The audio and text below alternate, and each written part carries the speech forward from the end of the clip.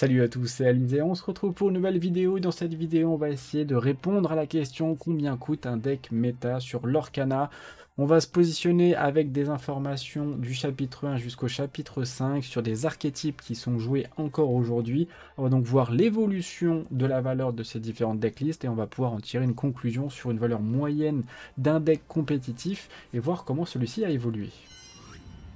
Et on va commencer par deux gros decks, l'Amber Steel Song et l'Amethyst Ruby Control, qui sont euh, deux decks euh, extrêmement dominants jusqu'à il n'y a pas longtemps, à l'époque du chapitre 4. C'est Amethyst Ruby Control qui dominait plutôt le metagame, là ou plus récemment avec le, chapitre 5, c'est Amber Steel Song qui euh, vient lui piquer sa place. Donc on va commencer par euh, comparer ces deux euh, decklists-là avec l'évolution tout simplement euh, de la valeur au fur et à mesure du temps.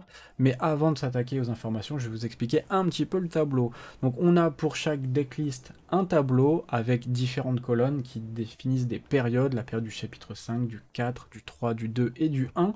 Et ensuite on a deux lignes, une ligne de valeur à l'époque qui correspond finalement à la valeur du deck au moment où je vous l'ai présenté sur la période, donc à l'époque du chapitre 2, à l'époque du chapitre 3, et la valeur actuelle, donc c'est cette même decklist là qui, avec la fluctuation des valeurs des cartes qui le composent, a pris ou a perdu de la valeur, mais on est vraiment sur exactement la même decklist.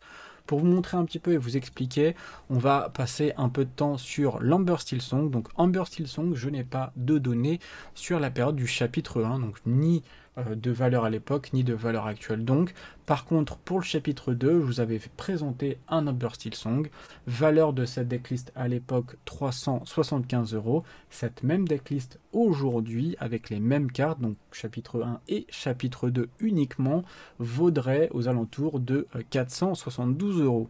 Alors je tiens quand même à mettre entre parenthèses les valeurs ici euh, de ces différentes decklists, ce sont celles qui nous sont remontées sur Dreamborn, là où je euh, saisis toutes mes decklists, que euh, je partage en lien dans mes descriptions de vidéos. Donc je ne sais pas si c'est les vraies cotes exactes ou pas, mais ça permet malgré tout d'avoir un ordre d'idée, vu que je ne pense pas qu'ils aient changé de référence en termes de valorisation de cartes depuis l'époque, donc on est sur quelque chose qui est plutôt cohérent. Si la valeur en elle-même n'est pas exacte, la fluctuation euh, de valeur entre les différentes versions et euh, les anciennes versions par rapport à la valeur des cartes aujourd'hui reste malgré tout cohérente.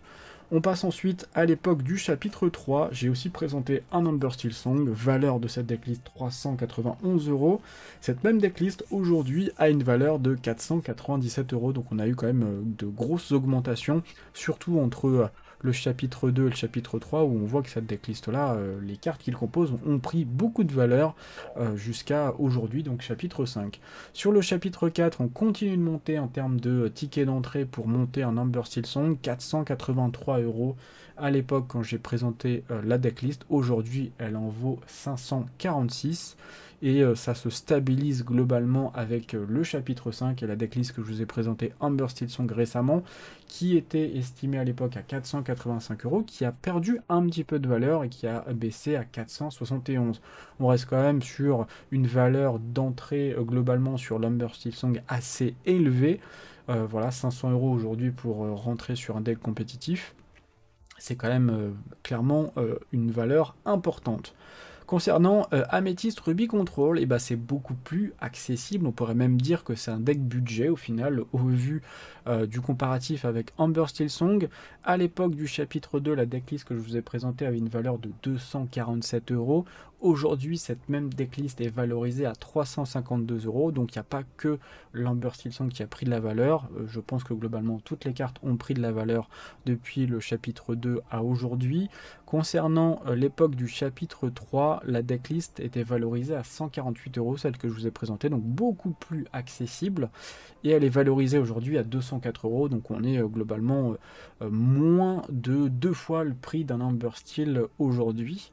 Concernant le chapitre 4, pareil, à peu près les mêmes valeurs que sur le chapitre 3. Il n'y a pas eu spécialement d'évolution non plus sur cette decklist là. 143 euros sur la decklist que je vous ai présentée à l'époque. Elle en vaut aujourd'hui 230, donc une petite prise de valeur malgré tout. Et puis concernant le chapitre 5, j'ai pas présenté de decklist Amber, Amethyst Ruby Control, pardon. Donc j'ai pas de valeur de chapitre 5. Par contre, en regardant globalement les decklists joués en ce moment Métis Ruby Control, on a une valeur euh, estimée aux alentours de 290 euros. Donc on est, euh, allez, on va dire euh, à peu près deux fois moins cher qu'un Number Steel Song. On va continuer avec le Ruby Saphir Item, que j'ai appelé Item parce que c'est une sorte de fusion entre le Pop Cycle et le Season Ice. C'est à peu près les mêmes plans de jeu avec les mêmes cartes. Euh, on est sur le même duo de couleurs, donc euh, voilà, plutôt que de faire euh, deux rubis saphirs différents, vu que j'ai testé les deux, j'ai pris la, valeur globale des différentes decklists que j'ai testées et je les ai mises sur le tableau. Alors, le rubis saphir à l'époque du chapitre 2 valorisé à 117 euros. Aujourd'hui, cette même decklist est valorisée du coup à 200 euros, donc une petite euh, prise de valeur d'un peu moins de, 100 euros. Sur le chapitre 3, ce rubis saphir était euh, à l'époque où j'ai présenté donc le deck valorisé à 213 euros. Elle l'est aujourd'hui à 362 euros. Et c'est la même chose pour le chapitre 4 où en fait on avait une valeur à l'époque de 254 euros et elle était valorisée, elle est valorisée pardon aujourd'hui aussi à 362 euros. Donc euh, il y a des chances entre le chapitre 3 et le chapitre 4 que la decklist soit peu près la même que entre le chapitre 3 et le chapitre 4, on ait quand même une prise de valeur de certaines cartes euh, du chapitre 3, 2 et 1 qui sont intégrés dans le chapitre 4. C'est pour ça qu'on se retrouve avec une valeur assez proche, voire euh, exactement la même entre euh, la valeur actuelle du, deck chapitre 4 et du deck chapitre 3.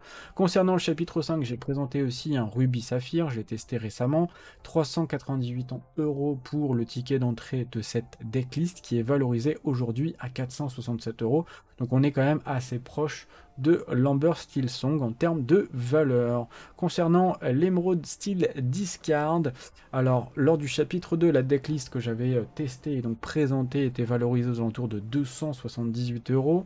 Elle est valorisée aujourd'hui à 243 euros, donc c'est la première decklist qui perd de la valeur euh, depuis euh, finalement le chapitre 2.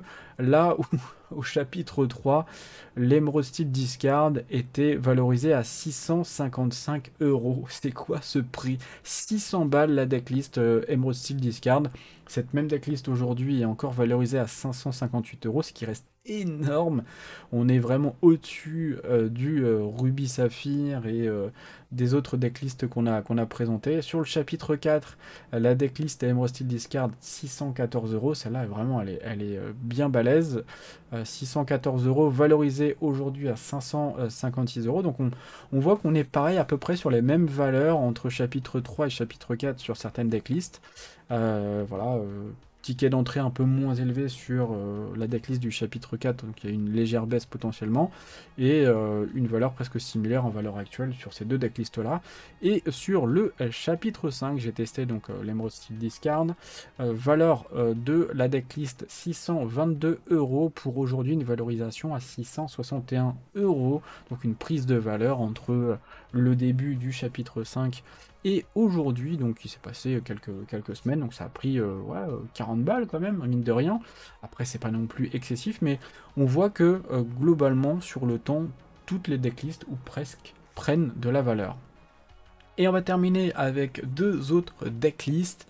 Donc c'est des, des, des, decklists qui sont plus ou moins présentes encore aujourd'hui. Alors oui, un Amber Amethyst Agro n'est pas la decklist la plus représentée en ce moment, comme l'Amber Ruby Mufasa, mais l'idée c'est d'avoir quelque chose qui est sur la durée. Alors, l'Amber Ruby Mufasa, j'ai pas de data sur le chapitre 1 ni sur le chapitre 2, par contre sur le chapitre 3, valeur d'entrée de la decklist 360 euros, elle est valorisée aujourd'hui, cette même decklist, à 393 euros. Chapitre 4, 403 euros euh, pour le euh, Ruby Amber, Amber Ruby Mufasa, valorisé aujourd'hui à 466 euros, donc grosse prise de valeur de cette decklist là, à peu près 60, 60 euros.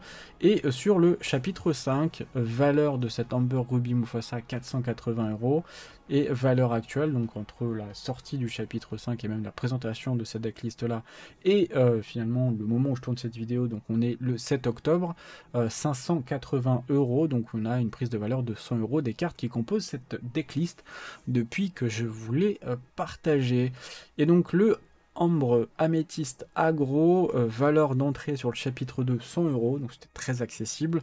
115 euros aujourd'hui, donc très peu de prise de valeur euh, des cartes qui composent finalement ce deck à la base. Sur le chapitre 3, même chose, prix d'entrée 100 euros, aujourd'hui valorisé à 195 euros, donc un peu plus de cartes intéressantes euh, dans cette decklist là. Lors du chapitre 4, euh, excessivement accessible, ce deck 80 euros en ticket d'entrée, vraiment pas cher du tout. Après, c'est pas non plus le deck le plus euh, compétitif et celui qui vous apportera le meilleur win rate. Valeur euh, aujourd'hui 144 euros, donc voilà, un petit, billet quand même. Et sur le chapitre 5, je n'ai pas testé d'ambre améthyste agro, mais j'ai trouvé des decklists qui tournent aux alentours de 140 euros. Donc l'ambre améthyste agro, voilà, c'est pas forcément top méta. Euh, mais c'est un deck compétitif qui est clairement budget. Un peu comme euh, euh, le petit le petit Amethyst Ruby Control qui est pas si cher que ça. Ah, ça reste 300 balles. Mais quand on compare à un Burst Song à pratiquement 500 euros, on a un Ruby Sapphire Item qui est pratiquement à 500 euros, on a un Emerald Steel Discard qui à plus de 600, pratiquement 700 euros, on a un Amber Ruby Mufasa qui est pratiquement à 600 balles. Ouais, on a quand même des, decklists compétitives euh, qui euh, tournent aux alentours de 200-300 balles et qui sont pour moi euh, peuvent proposer des choses intéressantes et peuvent fonctionner. Au niveau du coût, bah, du coût moyen des decks, j'ai essayé de compiler un petit peu les informations que j'avais. Donc lors du chapitre 2, par rapport à toutes ces decklists que je vous ai présentées, donc il y en avait 6 au total, on a une valeur moyenne à l'époque des decks de 223 euros, qui représente aujourd'hui une valeur de ces mêmes decklists-là en moyenne à 276 euros. Et on peut voir que ça monte. Sur le chapitre 3, la valeur moyenne d'un deck de l'époque, c'était 311 euros. Puis au chapitre 4, c'est monté à 329 euros. Puis aujourd'hui, en moyenne, un deck compétitif par rapport à ces 6 archétypes que je vous ai présentés, c'est 496 euros. Donc on est vraiment sur, oui, un deck budget inférieur à 300 euros, c'est un deck budget sur, euh, sur l'Orcana, clairement. Quand on voit que la moyenne ici est aux alentours de, 500 euros, alors oui, c'est pas exhaustif, j'ai pas pris tous les euh, archétypes, que ça soit euh, le bleu-gris, que ça soit d'autres decklists qui, qui se jouent actuellement. J'essaie de prendre celles sur lesquelles j'avais de la data et pour pouvoir travailler dessus. Et si on extrapole globalement, oui, on a quand même des prix euh, aujourd'hui d'entrée pour des decks compétitifs beaucoup plus élevés qu'à l'époque du chapitre 2. On est pratiquement sur x2, hein, euh, sur une valeur euh, finalement des, des, des decklists entre le chapitre 2, donc 223, et pratiquement 500 balles. On est sur Ouais, presque, presque deux fois le prix d'entrée aujourd'hui, donc ça devient de plus en plus cher. Est-ce que ça va continuer comme ça? Je ne sais pas. Mais ça devient de plus en plus cher de monter un deck compétitif sur l'Orcana euh, pour euh, tout simplement jouer et essayer de participer à des tournois et se donner la chance, quelque part, de pouvoir gagner, remporter euh, des des euh, boosters, des coffrets, des tapis, des cartes, etc. Donc c'est clairement pas donné. Là où du coup la valeur actuelle de ces différentes decklists évolue aussi.